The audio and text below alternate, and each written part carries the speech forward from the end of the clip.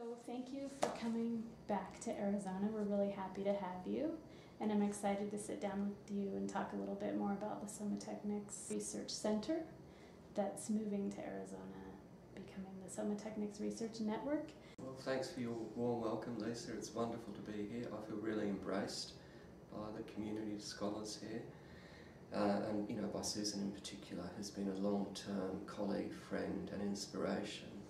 So, uh, look, I've got wonderful and vivid memories of the emergence of the Somatechnics Centre, and uh, historically, I think that you know we all need to acknowledge that it was Nikki Sullivan's pivotal work mm-hmm. in starting a series of um, conferences, body modification conferences, which were really looking at the way in which bodies were being transformed and were taking on board a whole series of technological interventions and inscriptions in order to, from what I understood, call into question normativity, disciplinary configurations of normative bodies.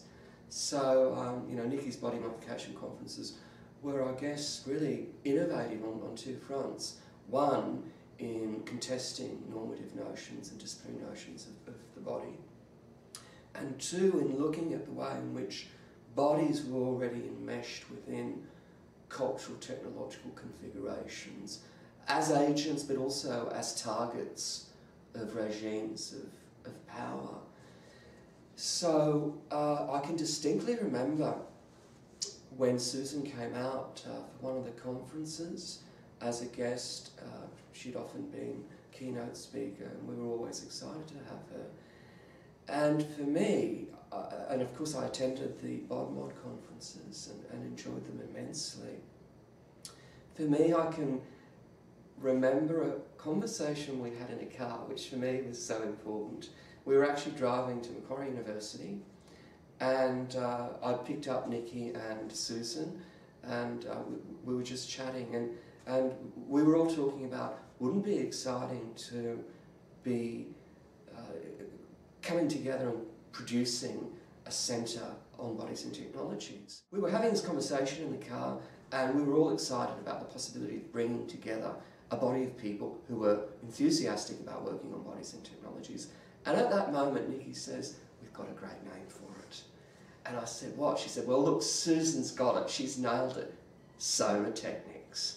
And I said, That's amazing. Because in one fell swoop, it just coalesced everything that we'd been talking about and simultaneously was so innovative.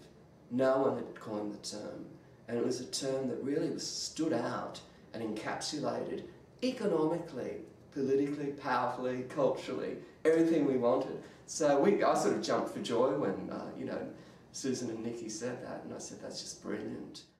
And so what we began to do was to stage a series of uh, uh, formal and informal meetings. We had lunches together with a cluster of people in the department of what was then Critical and Cultural Studies at Macquarie University.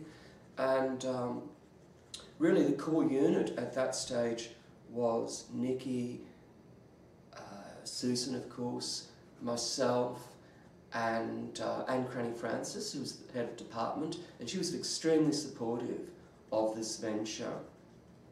And so when we would meet for lunch or informally, uh, often that was the key group. Then we had a couple of formal meetings, if I remember, with the department, and they included uh, Nick Mansfield uh, and Nicole Anderson, Goldie Osuri, uh, from what I can remember, Anthony Lambert. My memory is that they were enthusiastic, but they weren't really uh, sort of committed to it in the same way because I, I sensed that their intellectual interests were elsewhere, but they were supportive of it. So um, we just began to have these meetings, and uh, it, it, all sort of began to coalesce around that pivotal term, Somatechnics. From my own perspective, um, in, in 2005, I'd um, I, I, I, published this paper called Necrological Whiteness, the racial uh, prosthetics of template bodies.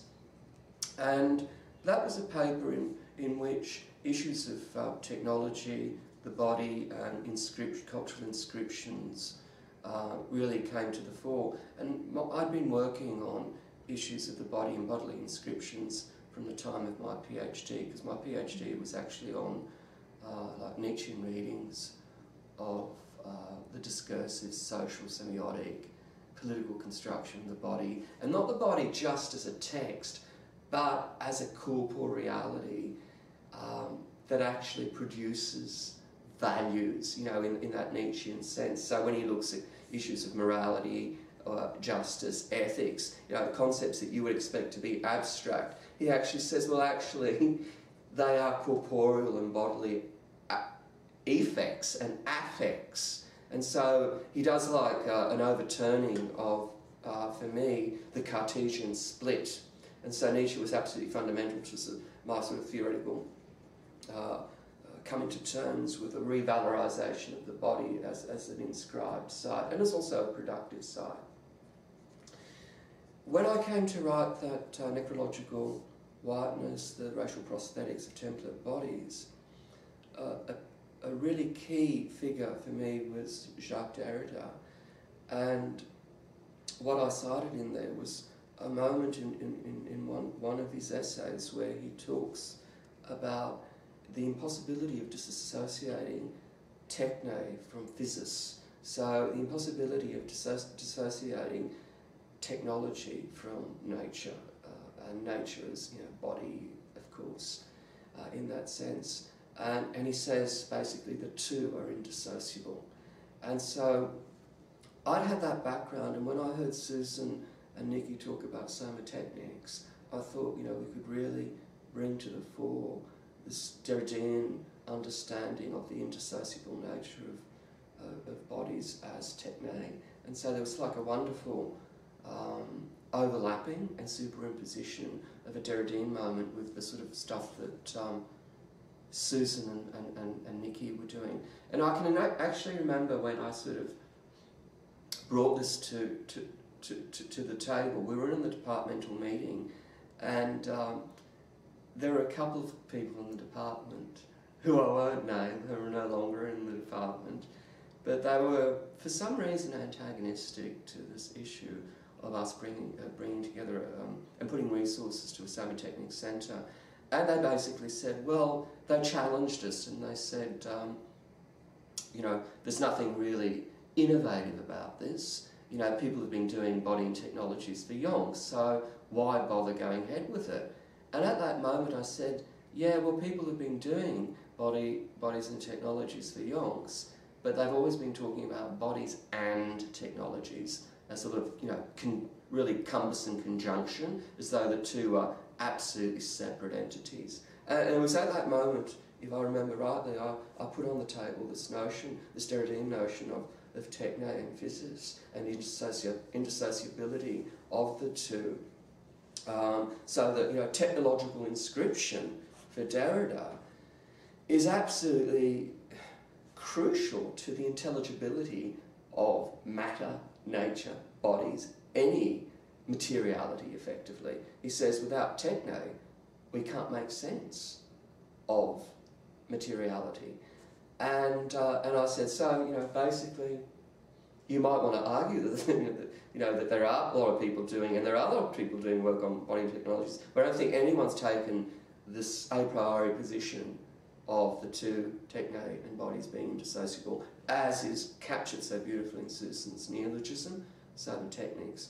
So um, I think that was a really productive intervention because it shut the critics up, and it also sort of began to we, we began to formulate a more formal thesis about, yeah, this is a way in which Susan's term now can be shaped to, to be a unique uh, configuration of work which operates on, on, on the understanding that you can't separate technologies from bodies, that they're already enmeshed. And the hard work is to, is to do really the articulation of how those inscriptions are working and shaping and being productive in configuring um, bodies in their located sites, in their situated inscriptions of gender, sexuality, race, all of that. And I guess because we were all working on issues of bodily inscription Nikki on uh, you know queer inscriptions like Susan, transgender, uh, sexuality, uh, myself particularly on colonised bodies,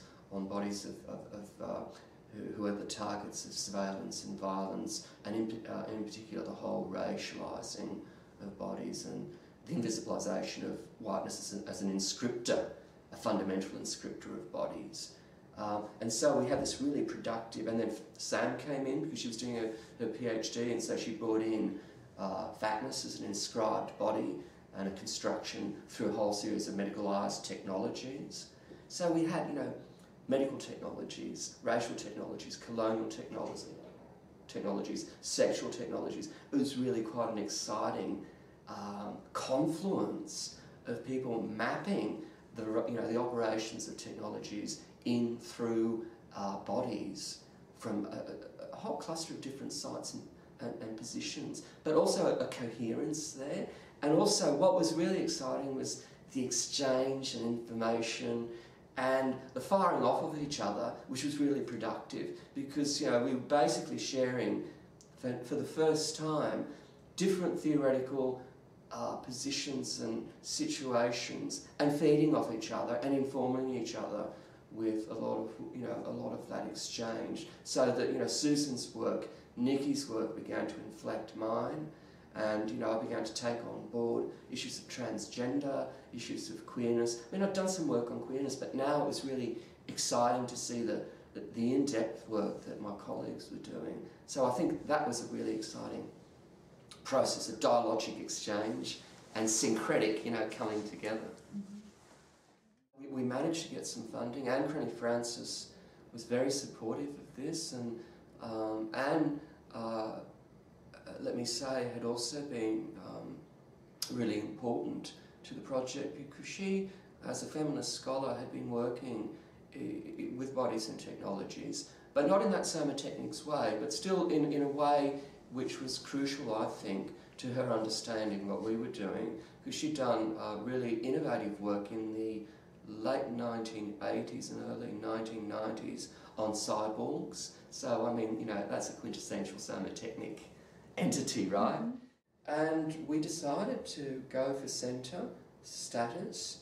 And if I remember rightly, Nikki uh, went to the dean and she got faculty money for that and worked on establishing the Somatechnics website. Sam came on board and created a list and we, um, we all sent out um, uh, flyers to colleagues who we knew might be interested and whose work we respected, and we got, you know, as you know, a terrific international roll call of some brilliant intellectuals working in those areas who were all excited to come on board. And so we really had an inter international body of scholars now, uh, really fleshing out the Somatech Technic network. And of course, Susan was doing that from the States, and a whole cluster of other people internationally began to disseminate it. Nikki and Sam uh, stayed, convened Somatechnic conferences, so it went from body modification to the new terminology, Somatechnics. And if I'm not mistaken, I think uh, Sam and Nikki uh, and Nicole Anderson uh, uh, convened two Somatechnics conferences in Australia, and then they went international again, if not, I'm not mistaken. I think Nikki and Susan would be in a better position to give you that sense. The exciting thing was that with every Somatechnics conference, we had multiple special issues of international journals. So there's a published history of that body of work. And when we saw the uh, really excitement that people had around this concept of Somatechnics, and the willingness to get the work published in international journals, uh, we came up with the idea, I can't remember who it was, again it could have been Nikki or Susan, said, well we should have our own journal. And so we began to work on uh, establishing the Somatechnics Journal, which as you know is a great achievement, it's come to pass, it's pub published by Edinburgh University Press, and it's already published some stunning work. Sadly, and this sort of brings the Macquarie chapter to a close, um, Nikki really struggled to continue the funding uh, for the Somatechnics Centre. We lost the funding, the faculty uh, decided that we hadn't brought in enough external grants.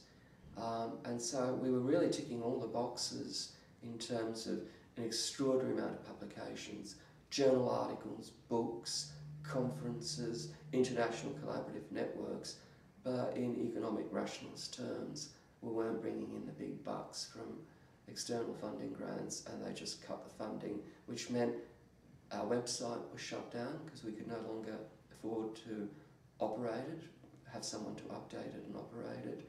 And um, the Somatechnics Centre uh, was closed. And luckily, Susan said, Well, you know, I'm in a position now to take it to Tucson.